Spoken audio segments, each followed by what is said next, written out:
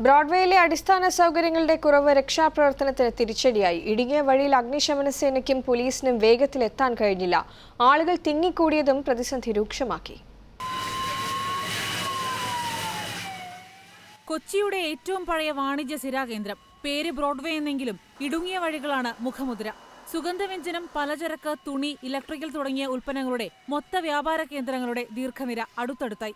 പല റോഡുകളിൽ നിന്നും പ്രവേശന കവാടങ്ങളുണ്ട്. പക്ഷെ കടകളുടെ മുന്നിലെല്ലാം തോന്നിയ പോലെ പാർക്ക് ചെയ്ത ഇരുചക്ര വാഹനങ്ങൾ മുതൽ ചരക്കിറക്കാൻ വന്ന ഇതര സംസ്ഥാന ട്രക്കുകൾ വരെ.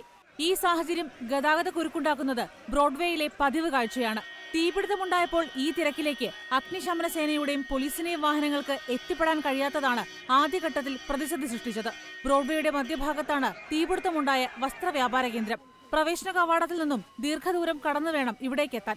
പത്ത് മണിക്ക് തീ പടരാൻ തുടങ്ങിയെങ്കിലും ഒരു യൂണിറ്റ് അഗ്നിശമന സേനയ്ക്ക് എത്താൻ കഴിഞ്ഞത് പത്തരയ്ക്ക് മാത്രം. ഒപ്പം തീ പടരുന്നത് കാണാൻ ആളുകൾ കൂട്ടമായി എത്തിയതും രക്ഷാപ്രവർത്തനത്തിന് തടസ്സമായി. ഇവിടെ പല കടക്കാരും റോഡിലേക്ക് അവരുടെ സാധന സാമഗ്രികൾ വിൽപ്പനയ്ക്കായിട്ടുള്ള സാധന സാമഗ്രികൾ പുറത്തേക്ക് ഇറക്കി വെച്ചിട്ടുണ്ട്. ഇത് വലിയ മാർഗതടസ്സമാണ് ഉണ്ടാകുന്നത്. കാരണം വഴി നടന്ന് പോകുന്ന ആളുകൾക്കും അതുപോലെ വാഹനങ്ങൾക്ക് അങ്ങോട്ടും ഇങ്ങോട്ടും മൂവ് ചെയ്യാനും ഒക്കെ വലിയ മാർഗതടസ്സങ്ങളുണ്ട് കൊച്ചിയുടെ പതിറ്റാണ്ടുകൾ പഴക്കമുള്ള വാണിജ്യ മേഖലയിൽ കോർപ്പറേഷൻ പ്രഖ്യാപിച്ച നവീകരണ പദ്ധതികൾ പലതും പാതി വഴിയിലാണ്. കൊച്ചി സ്മാർട്ട് സിറ്റി പദ്ധതിയിൽ ഉൾപ്പെടുത്തി റോഡുകളും കനാലുകളും നവീകരിക്കുമെന്ന് പ്രഖ്യാപിച്ചെങ്കിലും പ്രവർത്തനങ്ങൾ എങ്ങും എത്തിയിട്ടില്ല. ബ്രോഡ്വേ വികസനം എന്ന ആവശ്യം കടലാസിൽ ഒതുങ്ങുമ്പോഴാണ് കൊച്ചിക്ക് താക്കീതായി അഗ്നിബാധയുണ്ടായത്. ഏഷ്യാനെറ്റ് ന്യൂസ് കൊച്ചി.